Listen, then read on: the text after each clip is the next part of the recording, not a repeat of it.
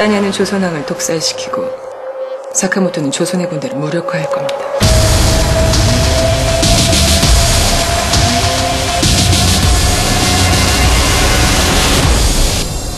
가비 작전이 시작되면 둘은 절대 만난 적이 없는 사이여야 합니다.